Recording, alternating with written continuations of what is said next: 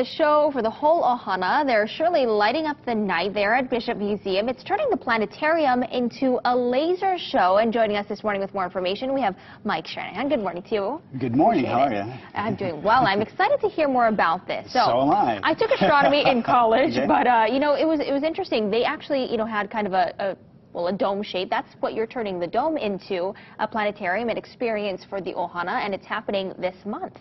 Right, so basically we renovated three years ago, great new star machine, immersive full dome video. So here is our third part of our trifecta of great experiences in the planetarium. For the first time in history on Oahu, we're doing laser light shows in a dome from uh, October 3rd all the way till the end of the Christmas holidays. And it took about 43 years to actually get this type of show here to Hawaii. Correct. They were invented, laser shows were invented in Los Angeles in the 1970s, and now, as of today, they've made it to our shore. Wonderful. And you've got matinee shows, evening shows, four shows today even. What can people expect when they get there? So the matinees, we're doing the Perseus and Andromeda show at 11 daily, seven days a week. Uh, this is telling the story of Perseus and Andromeda using lasers to tell the story.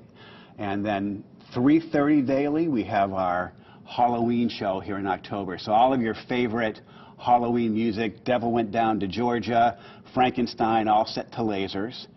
And then the evening shows, on Saturday nights, we're doing, at 9.30, for example, Pink Floyd, The Wall on Saturday nights.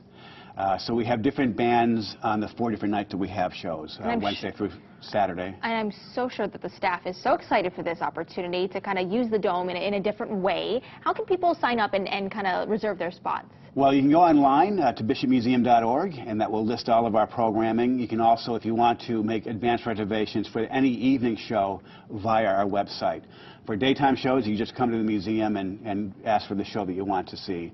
But yeah, all the information online at bishopmuseum.org. Wonderful. Mike, thanks so much for joining us. Should be a blast. That. Thank you for having us on. And of course, it's lasting until January 6th, so you have seasonal uh, performances, also Christmas celebrating. So that's the thing. So Halloween, of course, we're only going to run it through the Halloween season, the Halloween music show. But starting on the day after Thanksgiving, the 27th of November, we're doing our holiday music laser show in rotation through the holidays. So uh, it'll be great for the family in terms of the matinees, great evening shows, Beatles, Led Zeppelin, Pink Floyd, all being featured on different evenings. So check it out. But I think this is like really the next level of evolution for our planetarium. Only 43 years after Love laser it. shows were invented in Los Angeles. Thank you so much, Mike, for joining us this morning. Thanks for Appreciate having us. that. You're